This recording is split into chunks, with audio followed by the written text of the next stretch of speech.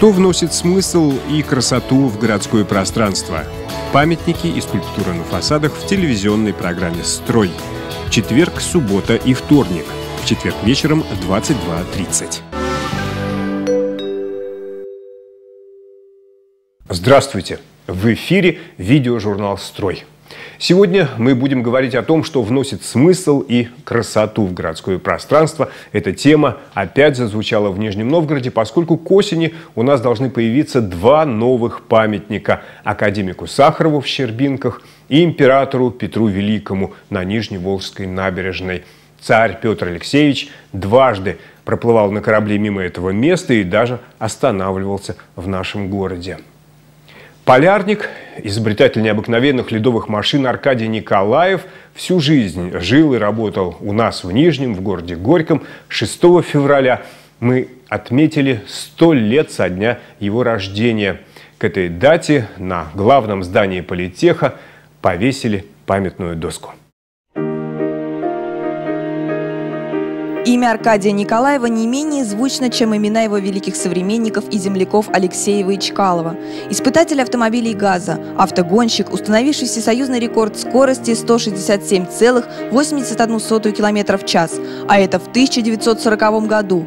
Он мог бы быть и летчиком, но полюс недоступности в Антарктиде он покорил за рулем разработанной им же вездеходной машины.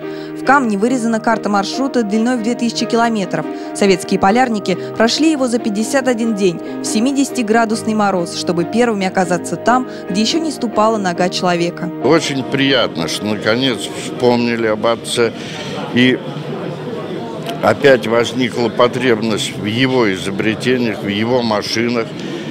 А машин он наделал великое множество, оставил после себя такие памятники, вот как бурильная машина, которая выпускается с 50-го года с сериями, и лучше которой до сих пор ничего нет, и мы ее видим каждый день на улицах нашего города. Это бурильная машина. И за нее он был удостоен сталинской премии. Аркадий Николаев изобрел 40 принципиально новых машин для работы в условиях вечной мерзлоты. Строительство автодорог и аэродромов на льду, выкапывание траншей и прокладки коммуникаций. Изобретение Николаева – первая полярная техника в Советском Союзе, которая заменила единственных в то время взломщиков льда – кирку и динамит. Это очень смелый и очень настойчивый и очень интересный изобретатель и строитель машин. Конструктор от Бога, великолепный совершенно – ну, а чисто человеческие качества – это очень настойчивый, очень целеустремленный и очень э, преданный своему делу человек. Аркадий Федорович Николаев был не только талантливым изобретателем, но и мощным организатором. При техническом университете он основал собственную кафедру строительные и дорожные машины и опытно-конструкторское бюро. Его ученики и последователи научной школы вспоминают, как пытливый ум изобретателя рождал самые нестандартные решения, которые Николаев успешно воплощал. Одна прорубь, другая прорубь. Расстояние между ними 200 э, метров. Надо протащить кабель. Как это делается? Через метр делаются лунки, и этот кабель протаскивается. Ну, сейчас рыбу так ловят. Аркадий Федорович говорит, зачем это нужно? Давайте сделаем маленькую ракетку, запустим ее в одну лунку, и пускай она вынырнет той лунке. Как это так? А очень просто. Все в КБ сели, начали разрабатывать. Вот здесь профессор Слюсарев где-то ходит. Он был э, разработчик э, этой темы. Так. Она туда не захотела выходить. Не захотела. А как же, так что делать? Толя, ты же чемпион России по подводному нырянию. Вот нырни туда, смотри, что там делается подо льдом-то. Толя Слюсарев туда нырнул, Говорит, а, оказывается, с той стороны лед-то, он вот такой бугристый. Вот что нужно делать. Надо сделать ей нулевую плавучесть, чтобы она не скользила по льду, как сначала ходили, а подходила под ню. Все так и сделали. Успешно закончили эту работу. Трудно сказать, какое из достижений Аркадия Николаева стоит считать самым важным. Изобретение бурильно-скважинной машины, покорение полюса недоступности или, может быть, всесоюзный рекорд скорости – их хватило бы на несколько жизней, но все соединил в себе он один. Острый ум, жажду открытий и волю к победе. Кулибин и Амундсен в одном лице. Профессор Николаев.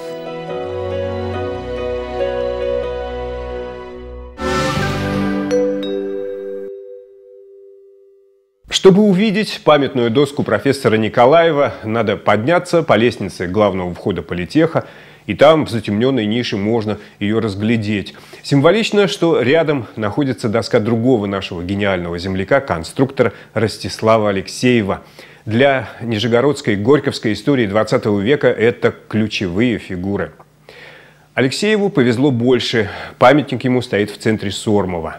Скульптуры – на улицах и площадях несут смысл в городском пространстве и, конечно же, украшают его. Мы сегодня говорим об этом, тем более, что скульптурные элементы разрабатываются в проектах нынешних нижегородских архитекторов, причем занимается этим молодежь. Типовые многоэтажки, бич советской и современной архитектуры. Огромные серые коробки, которые смотрят на прохожих стройными рядами стеклопакетов. Неинтересные и безликие.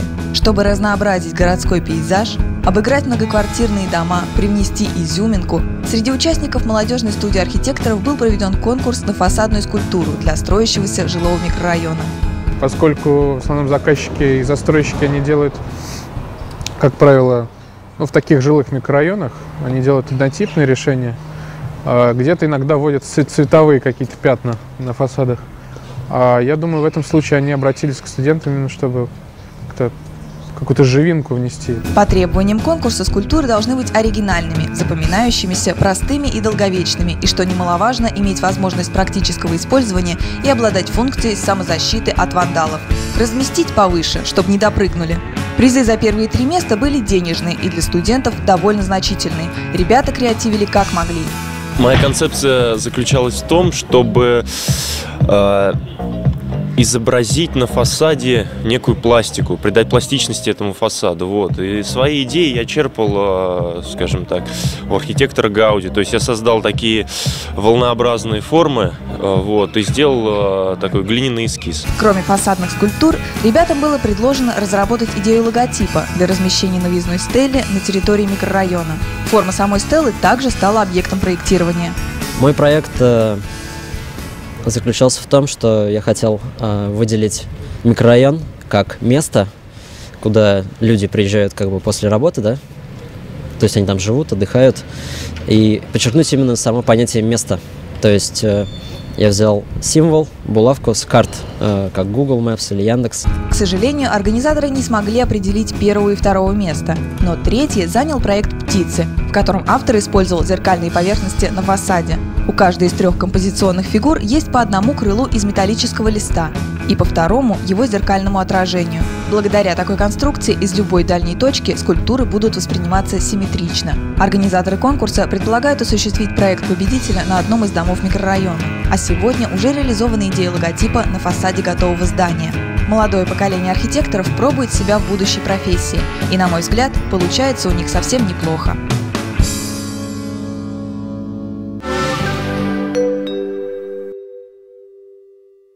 Дерзкие идеи молодых архитекторов выглядят особенно лихо, если вспомнить, что в Нижнем Новгороде над фасадной скульптурой работали великие мастера.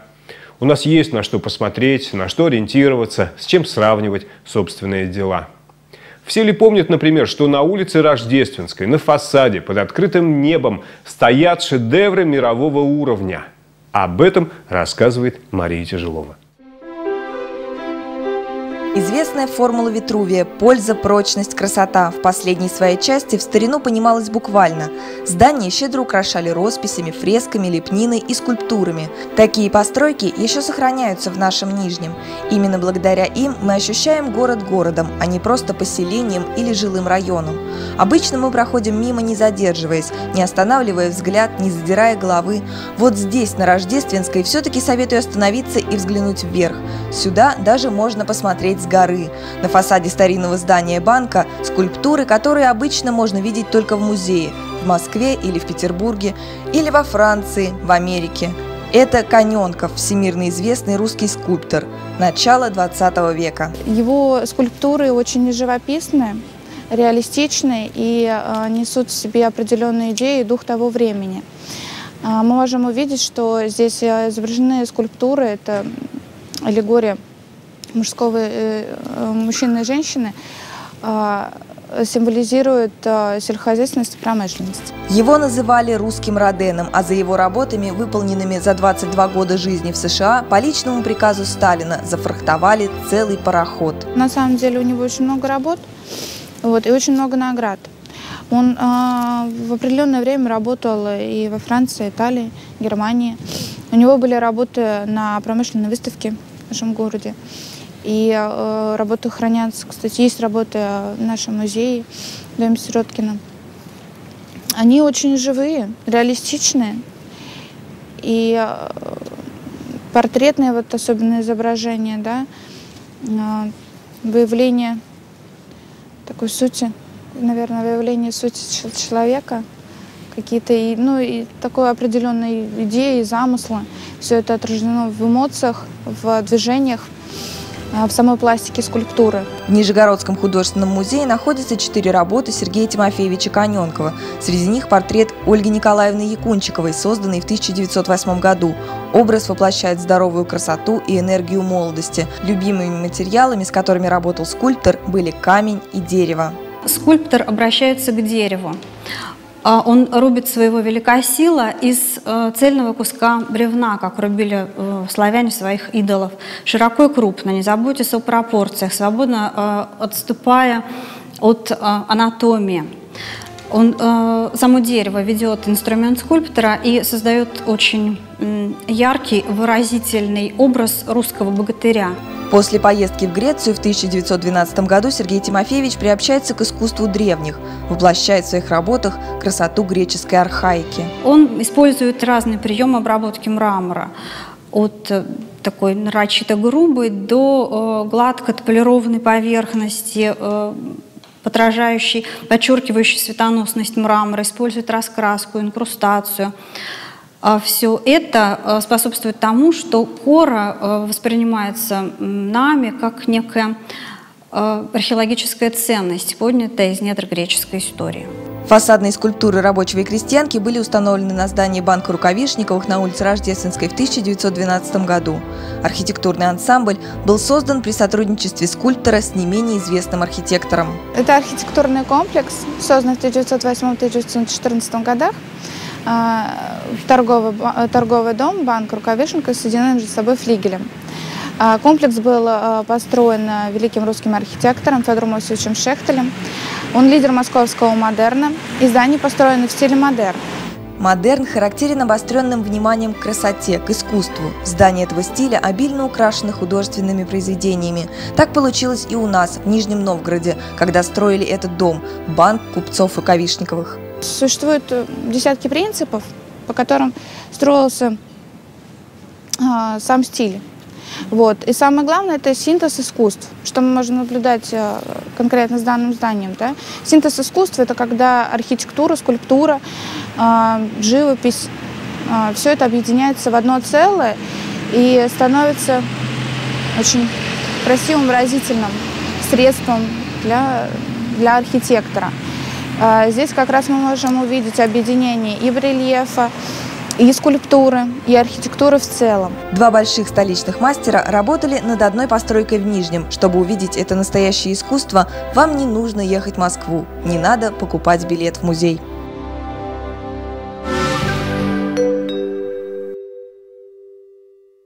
Вы смотрите видеожурнал «Строй». А в начале выпуска мы показали, как на главном здании политеха Нижегородского технического университета открыли памятную доску инженеру, полярнику, профессору Николаеву. Рядом висит доска конструктору Ростиславу Алексееву. Но чтобы разглядеть их, надо подняться по ступенькам и там разбирать, что написано и что изображено. Другое дело памятник, скульптура, Горький, Чкалов. Алексееву повезло, Памятник великому конструктору создала нижегородский скульптор Татьяна Хлуева.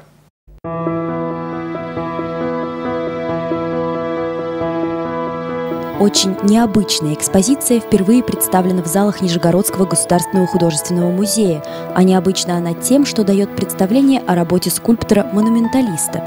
Пространство музейных помещений весьма ограничено, не просто было решить задачу правильного использования пространства музея, а с городом дело обстоит еще сложнее, ведь на плечи скульптора ложится огромная ответственность. Я закончила факультет монументально-декоративной скульптуры. Он подразумевает работу с пространством именно в интерьере, в экстерьере. Не в интерьере, не камерная, не станковая скульптура, а для улицы.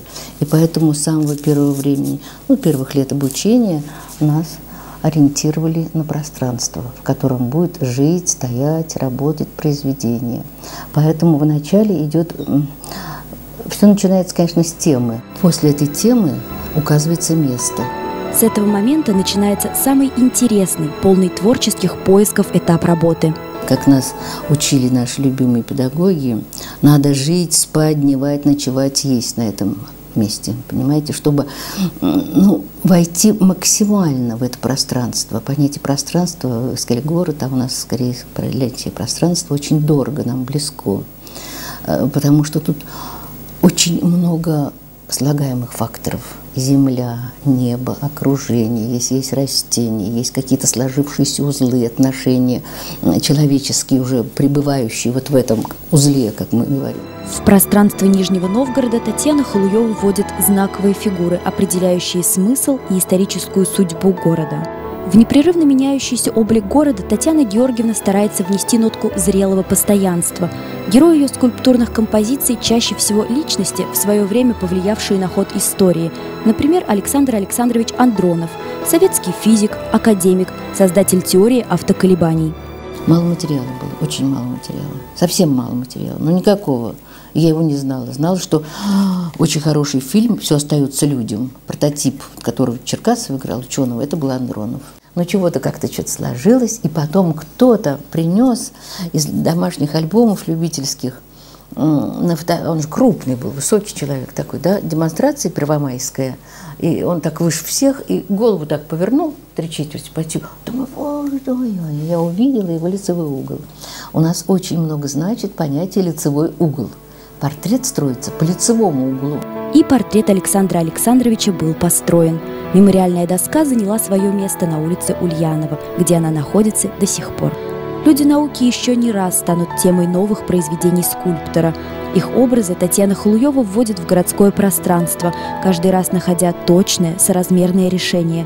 Один из таких портретов – женский, Мария Тихоновна Грехова, ученый с мировым именем, давшая старт Нижегородской радиофизике. Мне здесь было проще, у нее очень хорошие были фотографии. Мне родственники давали фотографии, сотрудники. Это ближе к нам. Время идет, облик города меняется, меняются и его герои, а скульпторы создают свои работы на века – Поэтому только пребывая с городом в совершенно особых отношениях, только чувствуя его и сознавая ответственность, можно создавать образы и закреплять их в бронзу, мрамор, гранит.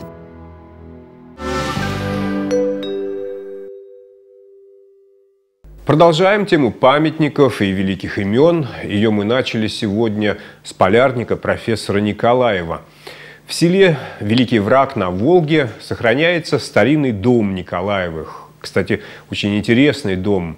В нем берегут живую память об этом удивительном человеке. Смотрим сюжет Юрия Немцова.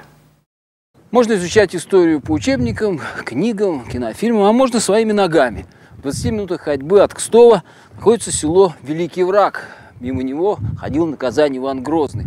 В этом селе стоит дом, в котором жил знаменитый изобретатель, конструктор, путешественник, первооткрыватель полюса недоступности Аркадий Федорович Николаев. А сейчас живет его сын, хранитель истории этой удивительной семьи.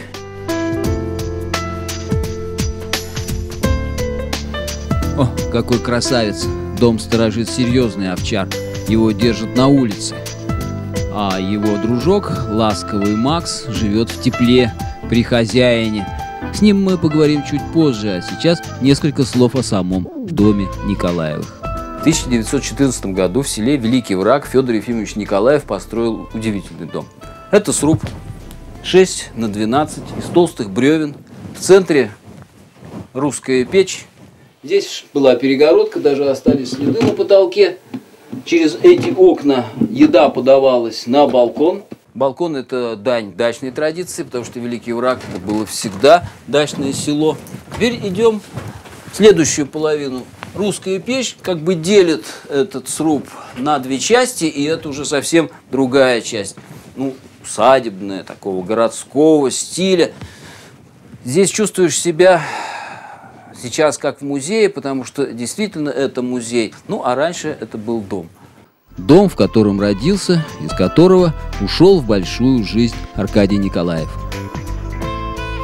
Что касается судьбы Аркадия Николаева, то он после войны полностью посвятил себя науке.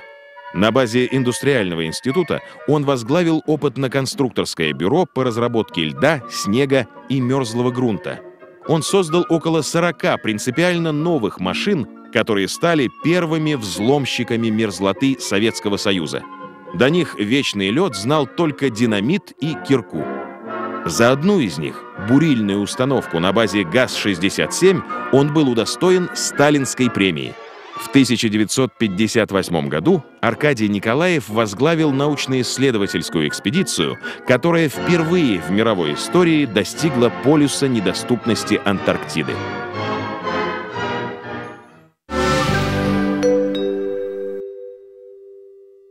Сегодняшний выпуск программы «Строй» заканчивается. Говорили о смысле и красоте, о замечательных нижегородских людях. Пусть этого будет больше в вашей жизни. До свидания.